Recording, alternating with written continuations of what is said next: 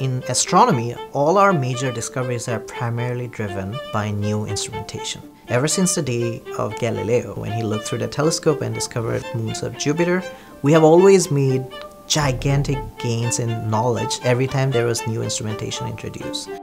We watched the launch of JWST with bated breath, you know, we were cheering on, and it has been an amazing amount of work by thousands of scientists across the world.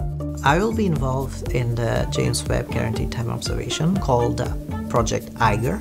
Our primary focus of this research is to really answer one of the fundamental questions of how we got here, to actually find out where are the baryons in the early universe, how gas actually falls onto a galaxy and forms the next stars. Our team is an international group of scientists. So moving forward, NC State grad students and postdocs will be participating in this program and they'll have the opportunity to interact with this amazing group of people internationally and enriching the research and academic environment in NC State.